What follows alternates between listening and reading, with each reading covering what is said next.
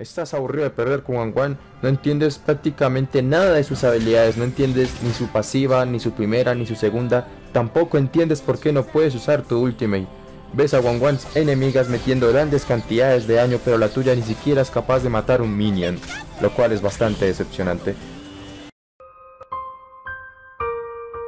Pues bueno gente, para eso estoy yo el día de hoy. Hoy les vengo a traer un tutorial completo de One One en el cual estaré explicando sus habilidades, build, combos, absolutamente todo. Yo soy Ato Gameplays y vamos a empezar. No tienes diamantes con que recargar, pero quieres una skin épica, quieres conseguir esa skin épica que tanto has deseado, pues bueno, ayúdame a llegar a los 400 seguidores ya que estamos a tan solo 7. A tan solo 7 seguidores de los 400 suscriptores en el cual estaré haciendo un sorteo de una skin épica y un pase VIP. Así que suscríbete, activa la campanita y dale like al vídeo. Y está muy pero muy al pendiente para participar en ese sorteo que haré cuando llegue a los 400 seguidores. Ahora sí, empecemos con el vídeo.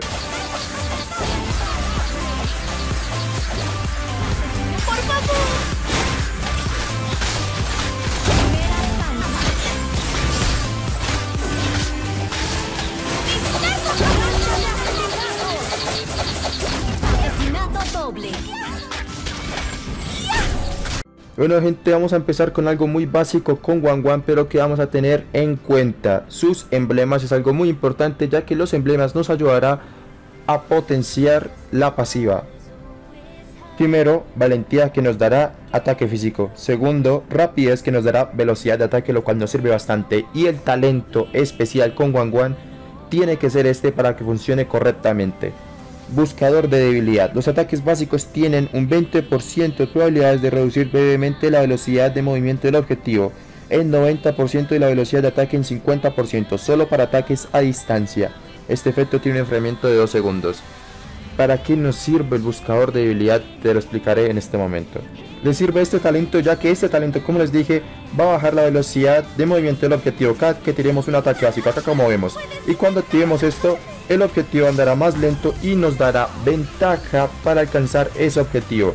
¿Para qué queremos alcanzar el objetivo? Acá es donde pasamos a su pasiva.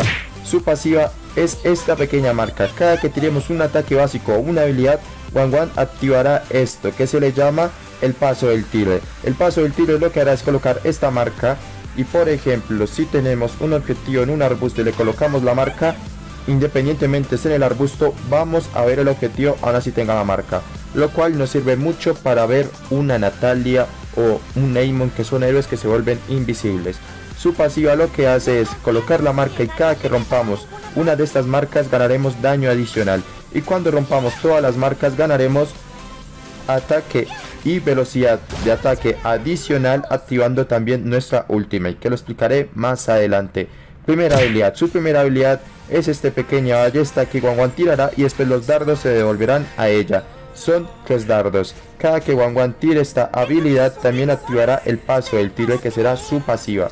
Cuando Wang Wang tira esto se devuelven los dardos. Esta habilidad sirve especialmente para romper el dardo que está detrás de nuestro objetivo así como lo vemos en pantalla. Nos sirve específicamente para romper ese dardo. Si Wang Wang logra atinar dos dardos, noqueará al enemigo acá como vemos en pantalla. Su segunda habilidad es bastante simple que será aguja en flores. Guan elimina todos los debuff de ella y activa paso del tiro. Mientras tanto dispara agujas mortales en todas direcciones, infligiendo 250 puntos de daño físico a los enemigos golpeados. ¿A qué se refiere esto? Y es similar a la habilidad de Benedetta, simplemente que esta no es tunea. Es un inmune que nos zafará de todos los CCs, menos la ultimate de Franco y Caja, ya que son ultimates que no se pueden cancelar, ya que son ultimates de supresión que lo he explicado en varios vídeos. Su segunda habilidad lo que hará es que si estamos noqueados por ejemplo por un Lapu por un Juston, por un Kufra, podemos escaparnos de CCC y activar nuestra pasiva. Recuerden que todas las habilidades y los básicos activan la pasiva. Así que lo que hará es, se zafará del CC y hará un pequeño salto.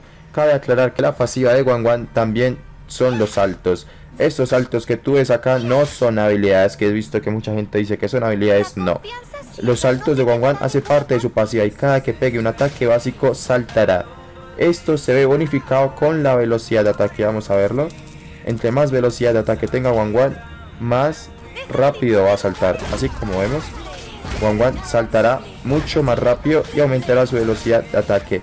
Vamos a su ultimate que es lo más importante. La ballesta de espiga. Esta habilidad depende de la pasiva. Y como les dije, esta es la pasiva, las tres marcas. Al romper las tres marcas activaremos nuestra ultimate. Como sabemos activamos nuestra ultimate, ahí se va a ver esta pequeña marca. Cada que activemos ultimate, One One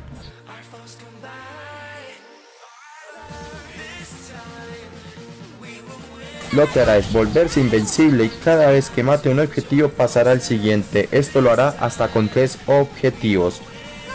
Cuando Wang Wan mata un objetivo con su ultimate gana velocidad de ataque y daño adicional.